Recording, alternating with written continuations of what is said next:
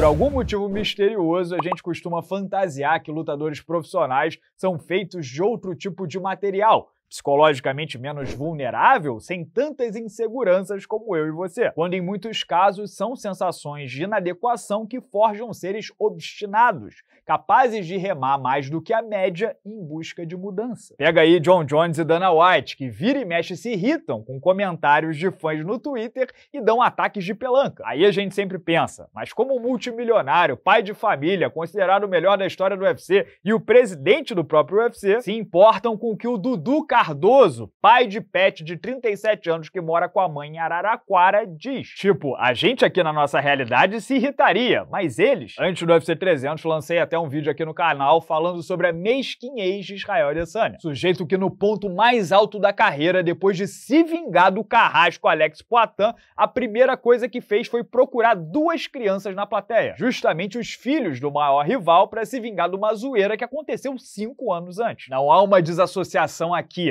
essa pequenez, esse apego a um detalhe tão bobo é o que faz a Adesanya ser um sujeito perfeccionista, portanto competente. É exatamente o contrário do que muita gente imagina, que o sucesso emana de confiança inabalável, solidez emocional. Outro caso, quando Anthony Smith faz pouco das habilidades do Alex Poitin no chão, o que a gente espera? Nada. A gente espera uma solene cagada na cabeça que ignore completamente. Superioridade, confiança extrema do Poitin. Afinal, um é duplo campeão do mundo, rico, popular, o outro é o décimo do ranking. Só que o cara não nasceu campeão, permeado por sucesso, sempre teve todo tipo de apoio que tem hoje.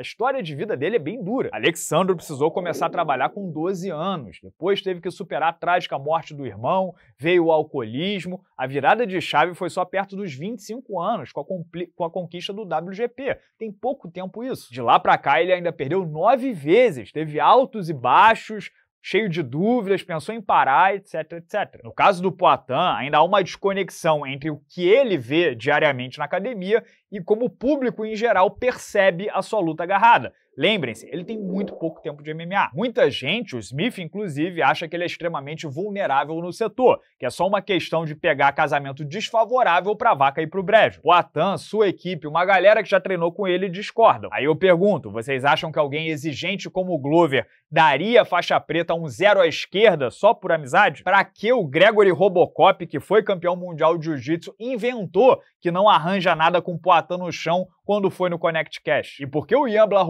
Faixa preta há quase uma década, que tem nove finalizações no MMA, não conseguiu mantê-lo no chão? Só aí a gente já tem alguma evidência. Acontece que o Poitin não tem meios para provar o contrário. Ele até quer, mas não vai arriscar o título mundial para isso. Não vai puxar o Iri Prohaska para guarda. No octógono tem que ser inteligente, jogar sempre no ponto forte. Agora, quando bate o olho no Daniel Cormier nos bastidores do UFC, ele já parte para trocar força, quer mostrar que tá aprendendo. Então Smith, questionando a sua faixa preta, vira a oportunidade perfeita para provar o contrário. É a história de vida da maioria dos campeões, dos high achievers, provar a todos, principalmente a si mesmo, que é capaz. E nem precisa ser campeão de nada. Um pangaré como eu escreve escreve 1.500 palavras por dia, 7 dias por semana, exatamente para quê?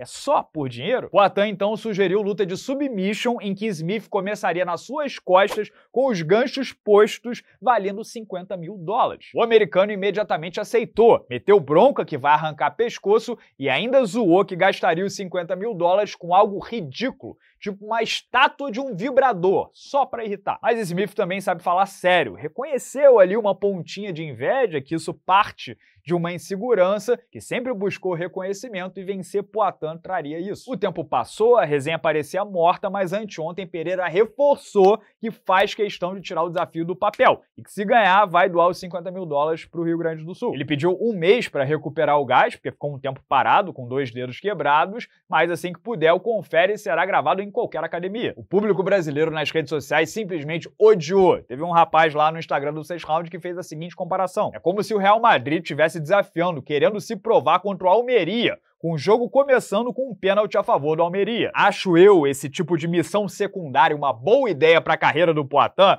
Não, acho péssimo. Se tivesse o WhatsApp dele, inclusive, mandaria aquele trechinho do Coronel Fábio em Tropa de Elite. Esquece essa merda aí, pô. É muito óbvio que o risco não vale a recompensa. Se sair da posição, ótimo. Aperto de mão, tapinha nas costas, ganhou-se nada. Se for finalizado do jeito que é competitivo, a mente do Poatan vai devorá-lo vivo. Pode haver, inclusive, uma quebra de confiança, queda de moral. Nem ele, nem ninguém está imune a isso. E esse tipo de dúvida, às vésperas de defesa de cinturão ou até uma subida para o peso pesado, não é nem um pouco desejável. Sem contar com o risco de lesão. Vai que num giro prende o dedo machucado, rompe ligamento coisa do tipo, e no mês seguinte, Stipe Miocic machuca e surge a oportunidade de enfrentar o John Jones. Imagina não poder assinar o contrato porque foi cabeça dura e fez questão de defender uma pegada de costas do Anthony Smith é para sentar e chorar. Então, sim, a ideia é desaconselhável. Portanto, tem mais o que fazer, peixes maiores para fritar. Mas, se fosse completamente imune a esse tipo de feedback, Poitin provavelmente não seria o campeão que conhecemos. E claro, esse é apenas o meu ponto de vista, os meus dois centavos sobre esse desafio de submission Poitin versus Anthony Smith.